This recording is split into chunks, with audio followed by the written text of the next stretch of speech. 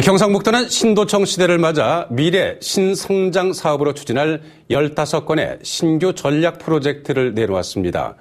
올해는 우선 이들 사업이 정부의 예비 타당성 조사 대상에 포함되도록 하는 것이 목표입니다. 박근식 기자입니다. 경상북도는 도정보고회를 통해 올해 정부의 예비 타당성 조사 대상에 반영할 15건의 신규 전략 프로젝트를 확정했습니다. 지난해 웨어러블 디바이스 소재 개발 사업 등 신산업 3건이 정부의 예타를 통과한 데 이어 추진 규모로는 역대 최대입니다. 동남권의 건설 예정인 타이타늄 신산업 벨트와 농기계 부품 클러스터 등 사업비 1조 5,400억 규모의 신산업 분야 7개 사업이 신규 전략 사업으로 확정됐습니다.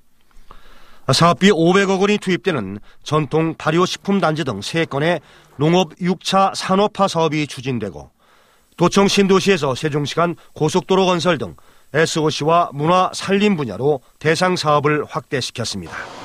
경상북도는 이들 사업이 정부의 예비 타당성 조사 대상에 포함돼 궁극적으로는 국가 시책 사업으로 추진되도록 총력을 기울일 방침입니다.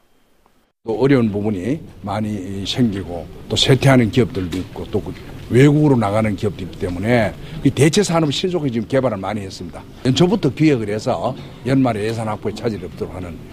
경상북도는 자체 재정이 열악한 만큼 중앙정부 업무 계획을 꼼꼼히 분석해서 경북의 전략 사업들을 국가 시책화하는 데 집중해 나갈 방침입니다. MBC 뉴스 박근식입니다.